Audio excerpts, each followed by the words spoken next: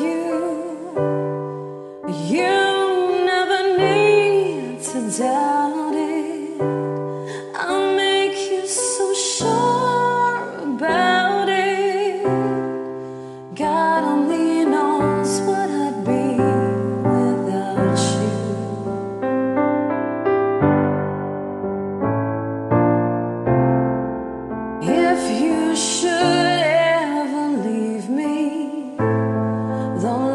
could still go